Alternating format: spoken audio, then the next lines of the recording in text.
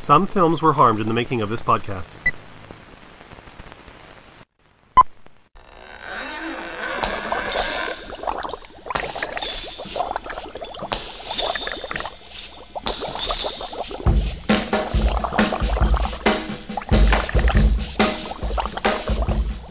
Everybody, and welcome to the third installment of what is For Your Considerations 2019 October Fright Fest Spooktacular. I am your host, Mike Jozic. And I'm your other host, Dustin Friesenhan. And for those of you that are familiar with our Halloween hijinks of past years, Dustin, why don't you cover it this time? Why don't you tell people what the uh, Spooktacular is for people who don't know and are just randomly showing up? The Spooktacular, for all two of you who might not have heard of it before, is us usually comparing and contrasting films, often remakes, and this year is no different for that. Always Halloween themed. Or Always Halloween or horror, or horror. themed. Horror being Halloween themed or Halloween being horror themed. And this year we are covering Universal Monsters. We're talking about the original, in air quotes, uh, Universal Monsters films. We say original because, of course, there was the discussion about the Wolfman last week, where Universal's first real Wolfman movie was Werewolf of London. By the way, I've seen it since. It's really good. It's fun. Be even more technical, Nosferatu was made before Dracula, even though that was a ripoff that they got sued for. And it wasn't a Universal film. but this week, we're going to be talking about uh, our third set of films. The first of which is the 1931 Universal film Frankenstein, and this is the only time we're actually going to be breaking kind of our rule, another air quote, so to speak, because as we discussed last week, Universal hasn't really made a Frankenstein movie Since the 60s or 50s, I think it was the 50s. It's and Costello meet Frankenstein, right? so 58 or so. Yeah. And I mean, there's been a lot of Frankenstein movies since. We were tempted to talk about Mary Shelley's Frankenstein, which was Kenneth Branagh's Dumpster Fire. I Frankenstein was also one of the options, more for comedy value than anything else. But it has nothing to do with the original story. It's like angels and demons and Frankenstein caught in the middle. I did consider at one point possibly Stephen Sommers' Van Helsing film, but what we essentially settled on was the uh, the 2015 Paul McGuigan film with James McAvoy and Daniel Radcliffe, Victor Frankenstein. Mostly because it's kind of a retelling of sort of the Frankenstein origin, even though it acts as a little bit more of a prequel. Kind of fills that same void that Dracula Untold did, which was our first week where we talked about the original Dracula and Universal's attempt to reboot that franchise, Dracula Untold. So, long story short, Long story short, I just realized that wouldn't it be more of a sequel since this is Victor Frankenstein, whose older brother was Henry Frankenstein, which was the Frankenstein in the first one. that's an interesting take on it.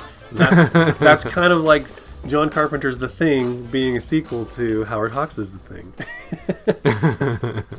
so, yeah, so we're going to talk about these two films. We're going to talk about what we liked, what we didn't like, how we think kind of rebooting the franchise went for uh, 20th Century Fox in this case. Kind of give our take on what we feel about the films at the end. So, without further ado, let us uh, get talking about Frankenstein, which was directed by James Whale. It was produced by Carl Laemmle Jr. Screenplay was by Francis Edward Faragoh, Garrett Fort, and Robert Florey and John Russell had uh, some uncredited work on that script as well. Story was by John L. Balderston and Richard Schayer, and it was based on, of course, the Frankenstein novel by Mary Shelley and the Frankenstein play by Peggy Webling. It starred Colin Clive, Mae Clarke, John Boles, Boris Karloff, Dwight Frye, Edward Van Sloan, and Frederick Kerr. So, Dustin, what was the 1931 Frankenstein about, and what did you feel about this film? You, this was the one you were kind of most looking forward to watching, I think. It was. I haven't seen it since I was about nine or ten years old, and I remember really enjoying it at that time. It's effectively the story of a, a crazed rich doctor trying to create life out of nothing, and so they stitch together a bunch of body parts, zap it with some electricity, and see what happens. They make life, and in this case, it sort of rampages a little bit, kills a couple people, and gets burnt at the end. Honestly, that's about it. Or does it? Given that there were sequels, direct sequels, I'm going to have to say no. Then again, I haven't seen those direct sequels, so I don't know how it works. The creature continues. How was your revisit of the film? My revisit of the film was actually very disappointing. oh no. I really love the first half of this film. It shows his maniacal passion towards this project and just how he will not let anything get in his way and everyone thinks he's insane, but he eventually brings them over and creates the Frankenstein's monster in front of them. This is pretty much where it falls apart for me because I, I do remember reading Mary Shelley's Frankenstein and adoring it, and the idea of nature versus nurture and creating life and what we do with that and what it means. It's it's very rich in terms of what you can do as a storyteller. And here I feel they just they missed the the opportunity to do much of anything with it. First off, there's the big thing about getting the abnormal brain, and it seems like Frankenstein just gives up as soon as the monster beats Fritz to death in self defense because Fritz is a psycho. Well, let's okay. I'm just going to cut in here for a second. To be fair, let's give Henry some credit here. Once his creation kills someone, he's like, okay, I failed. Although, again, his goal was to create life. He succeeded. He succeeded, but what he did with that life was let it be beaten to the point where, like, Fritz would just go in there and whip him for yeah. fun. Oh yeah, yeah. Fritz and was so he's like, an "Hey, don't you be picking on him." He even no, I'm says just gonna after, walk away. after Fritz dies, he's like, you know, well, he did enjoy tormenting him. and right before he died, he said, "Hey, stop picking on the monster. Stop picking on the creature." So really, he was a very neglectful father. but you could see how his high hopes were maybe brought low when he was like, "Oh, okay, he's he's not going to sit down and have tea and discuss Chaucer with us." Yet he's two days old. Like, calm down, buddy. It's just like, oh, he's born with a slight defect, or he's born slightly different. So I'm just gonna give him up. I don't care anymore. Which is honestly a bit more telling. This is the kind of thing where it's like, oh, born with a hunchback. Oh, born with a slight deformity. Born with this, that, the other. Let's not be parents and just give them up. Which is actually a bit deeper now that I think about it, but not what I think they were intending. Probably not by that point, no. But in that second half, he just sort of gives up on it, goes back home, and at, during this time, the creature escapes, is innocently playing with a little girl. She's tossing like leaves in the in the in the lake. This is one of my favorite scenes in the He's movie. joining. Oh, it's one of mine as well. It's it's hilarious. They're both just throwing flowers in the lake. She wanted him to be his friend, and he runs out of petals, and so tosses her in the lake, and he starts panicking because she dies. It was an accident. It, he is a pure innocent. The big difference being that he's a complete innocent in the body of a six foot four hulking beast who can accidentally beat you with his killer hands. I do agree with you that the first two thirds of this movie are brilliant in so many ways. I mean, just looking at the lighting, the production design, the weird Baroque German expressionist sets, and the acting of Colin Clive, and just everything about it. It's just dripping atmosphere and interesting things. It's actually, you know, talking about some of the themes of the film in the beginning. Characters are having conversations. And it's something I noticed in this movie that uh, I thought was worth pointing out, especially since we kind of rode Dracula really hard for this, is that there's no score in this movie. But you still feel some real narrative like propulsion in this movie because the dialogue and the direction and there is actual action and kind of purpose to what's going on. there might not be a soundtrack, but there's something going on where you're not just sitting there like this is blank space. and it's it was really captivating and the silences sort of felt weighty and important and the dialogue was really well written and it just plays really really really well. But like you i felt that despite my really fond memories of this movie from the last time i saw it which was probably When it came out, seven to ten years ago i did a halloween watch of it with uh, with my kids. And we all enjoyed it like quite a bit at that time. This time maybe because watching it with a little bit more of a persnickety eye, it kind of falls apart. There's a lot of filler. There's a lot of the wedding. There's a lot of the, you know, just showing the townspeople dancing. I did like the mayor though. Anything that he was involved in was pretty great. He was such a curmudgeonly shithole. It was it was great. And I liked a lot of that, but I just felt like it was so tonally different and it kind of stopped the momentum that I felt that the film had up to that point in an unsatisfactory way. And it was something that so far I've been noticing with all of these Universal monster films where they're kind of dealing with a little bit of character, move people from here to there, then there's a lot of parlor rooms, then it's let's just chase people through our sets, be it mountains, be it underground caverns, be it Castles. forests, and it ends. Now, I feel that this film and The Wolfman ended far more satisfactorily than Dracula did, which just basically, it's almost like there was another reel of the film that someone just forgot to put on. Yeah, it, it basically takes, I think, until kind of from when the creature throws the girl into the lake to the windmill. That was, to me, that was like a gap of, okay, what's going on? Just like, let's get through this. And then it kind of got exciting again. They had the visually wedding, interesting. and they had to find the body of the girl, and then they had to complain to the mayor. And to an extent, that makes sense. I actually did. kind of a great scene of the dude walking with the dead girl through the Oh yeah, like this is a ghoulish movie there's so much in this movie that i'm surprised it got away with at that time. yeah because like the dead bodies the hanging bodies the grave robbing the body parts the creature the Honestly, dead children in a film like that's not some that's something that people shy away from nowadays. Normally, you see a slasher film and you're like, "Well, there's kids here; they're gonna survive and be annoying the whole damn time." unless you're guillermo del toro Those are directors I respect. Kill those children; they're the they're the least likely to survive. Come on now. I actually didn't mind the tonal difference between the beginning and the scenes in the town, though, because to me that sort of gives you that dichotomy of what's going on that close. henry did think that the creature was destroyed he didn't anticipate the other doctor to be doing the autopsy and doing the whatever like They thought they knocked him out. That simple. I don't know why you didn't wouldn't bother, you know, killing him in some way or form after giving him that injection, but such is life. But having that dichotomy between the town and what's going on in the castle, there's a lot of stuff that's going on in the city right now that's totally extremely different than just a day-to-day life in here. There's crimes, there's murder, there's death, all sorts of stuff going on. And actually I sort of enjoy seeing that dichotomy because it, it didn't feel that jarring to me. I think maybe why it was jarring to me had more to do with it felt like we almost skipped an act.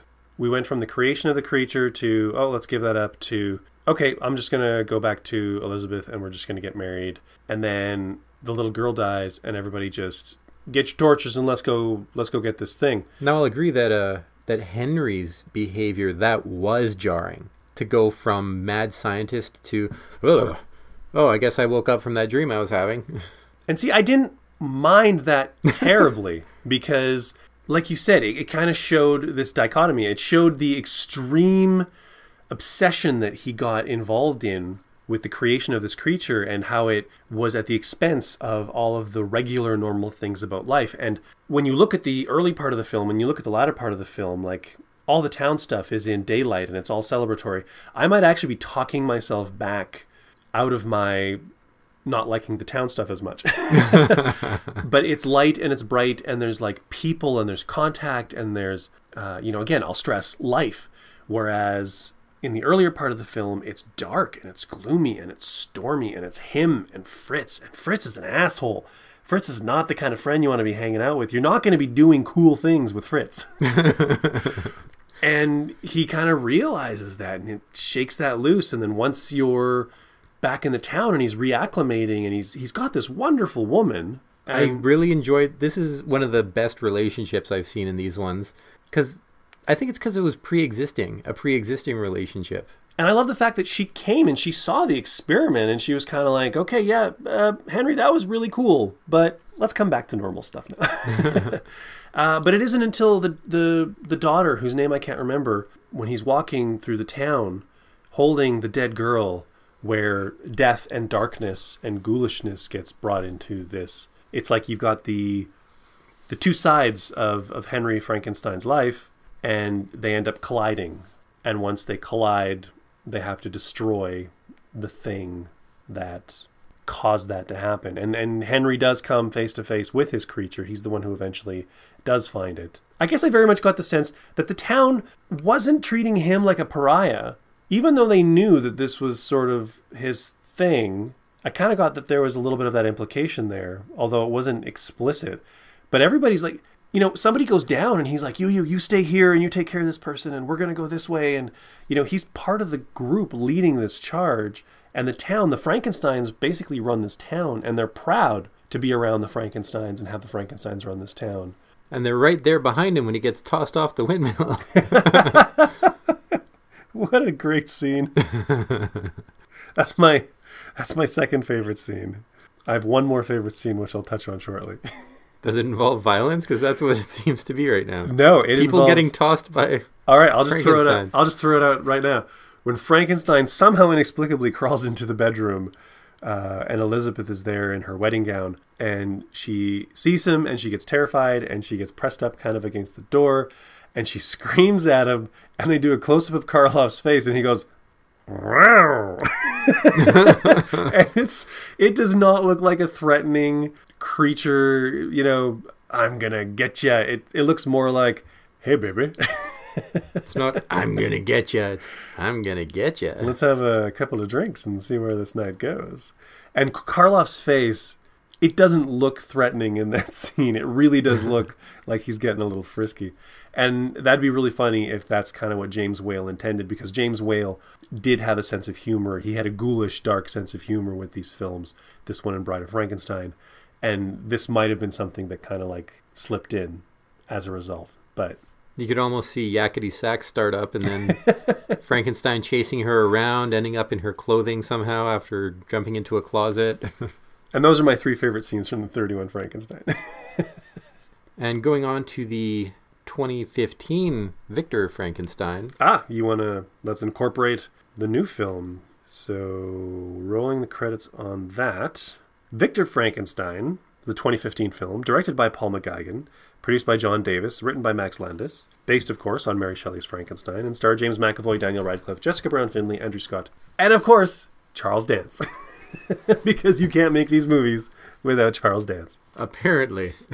I'm going to leave the charge on this one since you since you started with the 31 Frankenstein. Go for it. I really wasn't sure what to expect. We chose this movie, neither of us had seen it. We didn't even really do like a a Wikipedia read on it. We just knew that it was kind of a modern. Uh, I'd seen the trailer, and it was a bit, a bit more of like a fun, adventurous remake. And instantly, within minutes of the film started, I was like, "Oh, okay, this is like the Guy Ritchie's Sherlock Holmes version of Victor Frankenstein." And it it did not disappoint in that respect. I'm not a fan of Guy Ritchie's Sherlock Holmes. I did not like the modernization. But the slow mo and the action scenes and the craziness and the humor. The slow mo, they only had it a little bit at the beginning for no reason. Oh my god, you're right. They didn't really keep up with it. And it felt very out of place. Honestly, the action scenes at the beginning, it, it felt very shoehorned, sort of like they they felt like they had to put it in for some reason. I, you know, about two thirds of the way through the film, I was thinking to myself, I would have much rather have just had Frankenstein and Igor doing their thing. Maybe even starting it where they're in the university with Gordon, their first creation, and told some of the other stuff through flashback. I could wholeheartedly agree with that. like, I think that would have been fun because you would have been like, wait a minute, why is Igor this normal looking dude? And why is he brilliant? And why is he helping with the science? And I almost think that would have earned some of those Igor references like the Yes Master and or even if they just sort of started at the circus but then skipped their way through that whole unnecessary action scene. If they would have saved the trapeze artist and then he offers to take him somewhere else and he just accepts. the basic premise of, of Victor Frankenstein is it acts as sort of a prequel. It's Frankenstein meeting a nameless hunchback who ends up taking on the moniker of uh, Igor for reasons I don't feel like getting into right now. and they uh, Igor is kind of brilliant, and he's he's studied medicine on his own in his spare time. So he's like he's got the theory and he's got the whatever. And Frankenstein sees the genius, and they work together and they solve each other's problems. It all leads up to the creation of the real Frankenstein's monster, the real creature.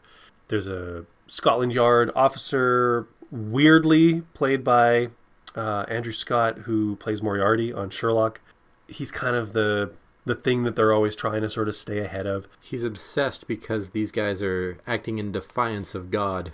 And then you've got the rich benefactor who wants to use this technology for his own gain, who tries to kill Igor at one point but fails. So they just they start tossing a bunch of balls in the air that really don't need to be there. It is kind of overly complicated and there are things like Victor spitting in the face of religion. Like I don't think that comes to the surface enough cuz when it does come it comes hard. It doesn't come often and it just doesn't feel very genuine. The moment at the end where he says to Igor he felt responsible for killing his brother so now he had to balance the scales and create life. I thought that was a wonderful line and a really interesting take on why Frankenstein's so obsessed with creating life. I could get behind his uh, his anti-religion stance because a lot of like hardcore atheists, anybody listening might know, they don't start up every conversation with "God doesn't exist. This is bullshit." Unless you're on the internet. Just like every religious person you know doesn't start up every conversation with God is good. But whenever it comes up, he's just super opposed to it. Whenever anything science related comes up, he's super into it. Whenever he's talking at the ball that he was invited to, he's acting like a complete ass. But if he's around people he considers his equals, or around somebody who's giving him a whole lot of money, then he's much more subdued and I feel that I've seen that personality before. It it reads as real to me. It reads as somebody who's very focused. I agree, but as somebody who has seen Sherlock Holmes, because you haven't, it reads very much like Robert Downey Jr. in that film. It's very much a template that they're following. And as a result, I did not like most of James McAvoy's performance in this film, even though I feel like he did a fairly good job. However, there were moments of absolute genius. Some of his manic asides or, or cutting into conversations that he wasn't previously a part of, or the conversation where he tells Igor that he should go out and he should have fun with Lorelei. It was so bizarre and so understated. And like, McAvoy's a good actor and he's really bringing a lot to the role, but I just don't think that there's a lot in how this role was designed for him to really shine. I don't know if that makes sense. He's bringing everything he can to the role, but there wasn't much there to begin with. Well, I kind of feel like there was an angle that they were going for, and they were like, this is kind of the Victor Frankenstein we want. And so McAvoy leaned into that and brought his Robert Downey Jr. A game. But I think it's when he's kind of doing his own thing, where he's bringing his own weirdness and his own creepiness and his own brilliance, that he really shines. I think the role is designed to be like something else, and most of the time it is, and that's where it fails for me. Thematically, when it comes to this film, it once again diverges from any sort of nature versus nurture that you might have found in Mary Shelley's and sticks entirely with obsession. It touches very slightly on the effect we have on each other's lives with especially with his line at the end you are my greatest creation, the one that he gives to Igor at the end. And they could have done so much more with that, but pretty much all they left us with was that little, and this was the message all along sort of thing. And once again, a, a missed opportunity to delve into some into so much more. You could read the movie. I, I'm, I wouldn't be surprised if this is what Max Landis was intending. Igor is Frankenstein's greatest creation in a way. Like there's so much about the he story. from somebody who's nameless, just being living in a cage and living in the circus, to somebody who's created life and now involved in aristocratic balls and he transforms him. He gives him opportunity. I think that's where the nature or nurture maybe comes in in this film, and it's the more interesting relationship to Plum. It's kind of like when Ridley Scott remade Robin Hood that was originally a script called Nottingham, and it was the tale of Robin Hood as told through the eyes of the sheriff of Nottingham. It was like, it's Robin Hood again, but here's the spin. And I would have liked it more if this movie was, it's Frankenstein again, but here's the spin. It has more to do with the relationship between Igor and Frankenstein, because that's something we've never seen before in this way. And there was there was a lot there to mine. And it would have been even cool if the creature at the end didn't even survive. And if Igor was like, I'm sorry, I'm sorry the creation was a failure or whatever. And he was like, You're my greatest creation or something. But there was a couple of things that they just seemed to feel it was necessary to lean into. Namely, unnecessary action bits. That scene at the end in particular. You've got Frankenstein's monster's body just bouncing around, everything it hits, huge electric explosions. These arc flashes would do way the heck more, by the way. So many explosions. So many explosions. So many people falling over the edge of railings. I mean, come on, you idiots. Why does seven people have to die from falling over these actual railings? It was safer to go around friggin' the castle in Dracula and it didn't have anything to hold on to even. Nobody was falling off there. well, except for Renfield, but he was thrown down the stairs. He and was. even he didn't fall off the edge until the bottom. Even in its worst moments, I, there are things that I find that I enjoyed about this movie. I mean, it's a it's a watchable, enjoyable movie insofar as it doesn't do anything to like outright make you mad at it or, or walk away from it. But like I said, there there were moments of McAvoy's performance that I thought were brilliant. I thought the creature design was actually not too bad. But it, uh, by the same token, the creature design was okay, and I was like, oh, neat creature. But then this is all you're doing with the creature. This is all it's there for. It's basically just the boss battle at the end of the level. like, oh, it 100% is. right. And And it even has round two because two hearts. Two hearts. and I also I do want to do a shout out to let me see if I can pronounce this right. Janie Timime, Jani Tamim, Temime. I'm not sure how to pronounce it. She, he, whoever it is, is the costume designer for Victor Frankenstein. And I loved the costumes in this. There were so many really beautiful garments. The dresses that Lorelei was wearing were exquisite. Uh, the way that Paul McGuigan shot the clothing in scenes was amazing. It almost kind of felt like that's where the color, that's where the life was really coming in, in, in so many ways, design wise, for the film. Because it was a grimy, dirty, cluttered, filthy London, sort of otherwise. This is where all the color and the elegance really shone. With a lot of period stuff, a lot of stuff just sort of blends. And I find it really interesting when you can take you know when you're designing like spacesuits and costumes for aliens and whatever like you can see things you've never seen before and you're just like yeah when you're doing period specific stuff you're trying to make it look very period which is sort of trying to make it invisible but then if you can also make it really beautiful i think that's a thing i like that it stands out to me It's a difficult thing to balance. the vests i want victor's vest You got to maintain the audience expectations while simultaneously dazzling them within that limited framework. Trixie, Trixie, Trixie. One more thing I just want to point out before we maybe sum this stuff up, unless it spurs something in you to, to talk about. We were talking about things that this movie did sort of just for the sake of kind of doing it or, or leaning into kind of a tone.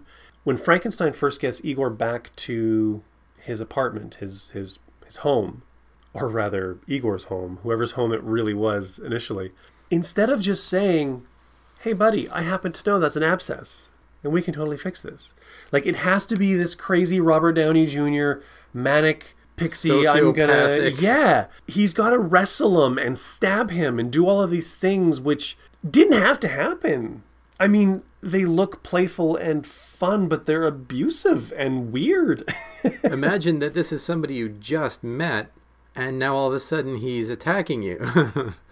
now, he was beaten his entire life and he knew no different, but come on. that's not how you readjust someone. That's that's a weird first impression to make, stabbing you and then wrestling you into a harness. It was super weird, and I think it really played into what you were talking about in the opening with the action scene through the circus. I think it was just trying to get the audience like, here's some crazy fun stuff. We're gonna be crazy. Look how crazy we are. Do do do do do do do. So that when they get into the dialogue and you know the meat of the story, the audience is already kind of like, well, wait a minute, this movie's crazy. This movie is so fun. Something fun's gonna happen again really soon. It's like a Shakespearean play where, well, we've got the poor people in the front. Let's uh, stab some pig's bladders and get some blood on some stuff. because it's been four minutes and people are just talking. We can't have that. I just found those things really conspicuous and really unnecessary, and yeah. And so, looking at both of these films, the thing that jumps out to me is missed opportunity. they, more, more so with Victor Frankenstein than with Frankenstein. I think. You think an equal measure for both? Well, I, I really enjoyed the beginning of Frankenstein, and it fell apart very hard for me with the second half. Whereas Victor Frankenstein was just kind of eh the whole way through. So it sort of averages out, you it's know? consistently eh. I mean, neither are bad to watch. Neither of them. But neither one of them are spectacular. It it feels like they could have they could have been so much more. My recollection of all the stuff going on in Mary Shelley's Frankenstein and all the potential for duality of man, for creation, for nature versus nurture, there's so much stuff that's missed out. The original. I guess both of these films kind of eschewed that entirely. Entirely. The monster was completely irrelevant in both of these films, pretty much. And to me, the whole focus on the abnormal brain, only to have the monster come out not speaking and not have any chance to develop beyond that brain, it it really stuck with me poorly. You know what's interesting is that you mentioned that they didn't really focus as much on the monster. Back in 1931, and for probably many, many years after, that original Frankenstein film, that's probably what most people remembered. They probably remember the, it's alive, alive, and then the creature walking around doing his thing. Oh, more than likely. Like it, it was one of those things that it was so new and probably made such an impression, and Karloff's performance was such a thing that that's what you walked away with. And I mean, it's on the poster and and all that stuff. But I think for us watching it now, we're getting so involved with Henry and his story and the themes that we're expecting more when the creature shows up. And we're not just amazed by the creature because we grew up with the image of Frankenstein. And so many alternate variations throughout the years. We've seen him in children's shows, all sorts of movies, bit parts in Van Helsing, and all sorts of ridiculous nonsense. He's just a staple. Though one thing I did appreciate in Victor Frankenstein was all the jokes that they, uh, all the little jabs that they make. Yeah, the whole yes master, the the jab about Frankenstein's monster and the name. I forget what the jab was, but I remember hearing it. but I just I feel like there could have been so much more done with it. The story itself and the potential it has is very classic worthy, very masterpiece worthy. But these movies, they miss the mark. And there seems to be a fundamental ingredient that's kind of missing in the reboot. They're either staying too close to the source material while trying to be different, and it's just not jiving. It's like when you're watching a video and the audio isn't synced up totally. it's like you can watch it, but it's just something about it's just not good. I think they leaned into the notion that you had to have action, that you couldn't have a think piece. And I think inherently Frankenstein should be a think piece. And that's its major flaw. I think I would agree with you that unfulfilled potential could actually apply to both of these films. Uh, I mean, we both said that we thought the 31 version falls apart a little bit. I still think that the 31 Frankenstein is one of the more enjoyable, if not the most enjoyable of the first kind of wave. 100% I can get in I can get on that. Of the like Dracula, Invisible Man. Oh wait a minute, no, Creature. Creature's my favorite. But Creature also came a lot later. Like Creature came 20 years after the the first films. If so, we're talking 20s through the 40s, Frankenstein's the best. But even in those situations, like I think Bride of Frankenstein is a stronger movie than the original Frankenstein. There's a clumsiness to those early movies, and there's a iconic quality to them, and I think that's why they have the position that they have. They started something, and sometimes the start of something isn't always the best of something. You know, a lot of people think Empire Strikes Back is the best Star Wars movie. A lot of people think Spider Man 2 is the best Spider Man movie. A lot of people say The Godfather 2 is the best Godfather movie. Like, it's because it takes whatever you had previously and it builds on it and deepens it and makes it more interesting and it gives you more room to play. So, that first one, even though that was what made the first impression, it falls by the wayside a little bit. But I still think there's a lot to offer there. And I, like I said, I think it's still one of the best kind of original of, of the uh, Universal monsters. Victor Frankenstein, so much unfulfilled potential. Uh, Paul McGuigan is a, a, director I enjoy. I still love his film Push. And I think there's a lot of creative choices being made here. Max Landis is not my favorite screenwriter, even though, you know, I love Chronicle. There hasn't really been anything since that I've really twigged with with this guy, and I'm not really a big fan of Max Landis as a human being. so Only because he's a turd, apparent or allegedly. allegedly. But yeah, there was an opportunity here to kind of do something really different, and they kind of went for the thing that worked before, and they kind of went for what feels more like a summer or Christmas sort of fun action comedy blockbuster. You know, at least that first Frankenstein, that 31 Frankenstein, it's got those themes. And at least it's got that first half. They just needed a better second half. The conversations, you know, like the dialogue. Yeah, I don't know. It's it's just not firing on all cylinders. Some really interesting set design. The wh- what they did with what they had was really quite remarkable. But I don't think this movie deserved to make like a twentieth of its budget on its opening week. But It deserved better. I'm just surprised it didn't perform any better than it did because it is. It's a very middle of the road movie. There's enough talent there that it's middle of the road. There just seems to be this inability to go back to a lot of these properties that just seem like no brainers, like the pulp heroes. Why can't you make a successful pulp hero movie? Like, what is stopping that from happening? Why can't we have a good current Shadow movie or a good current Phantom movie? And just for the record, I'm actually a fan of the Mulcahy Shadow and the uh, uh, the Billy Zane Phantom movies, but those are things that should not not exist right now. The Universal monsters. Why cannot they make any decent Universal monster movie now? or is it just that that's not what people want to see now? And that is another big possibility. It could be. It could be. This might actually be an interesting conversation to have next week because you and I have some interesting feelings about the Alex Kurtzman Mummy movie and the whole idea of the dark universe. And so that is what we will be getting into next week on our October Fright Fest Spooktacular 2019 edition. Uh, I think that's going to be a fun conversation. Uh, There's going to be, I know I'm going to have a lot to say because I've been wanting to talk about the Mummy for a long time. I wrote a review of it for the blog, the blog, which is I think we have. wordpress.com. yeah. So, anyways, uh, if you guys want to let us know what you thought of this film, the show, the spectacular so far, Universal Monsters, whatever, uh, hit us up on the social media: Facebook, Instagram, Twitter. We're at FYC Show for your consideration, or FYC Show pretty much everywhere. If you want to support the show, like and share, follow and subscribe to the social media and the different channels and whatnot. Uh, share the love. Share us with friends and family, people who you think like these things, movie conversations. Uh, word of mouth is great. If you are streaming or downloading the show off of iTunes while you're there, rate and review the show. Five stars, of course, is perfect, but rate what you feel. That's what we want to hear. And uh, you can also stream or download the show off all the good podcast providers. We're on Spotify now, YouTube. There's always a lot of interesting conversation going on on the YouTube comment sections. And you can also support us by going to our Patreon, patreon.com slash FYC show. Have some reward levels there.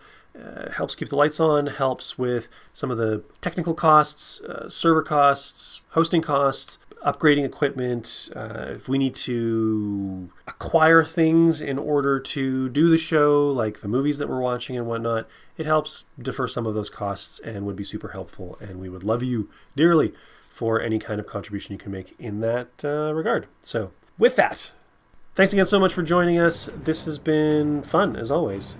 Be sure to join us next week when we talk about The Mummy and The Mummy.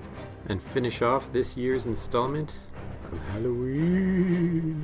Yeah, Scary getting, movies. getting back to talking about regular movies. Purported classics. Ostensible. uh, thanks again. I've been your host, Mike. And I've been your other host, Dustin. Take care and stay spooky. Peace.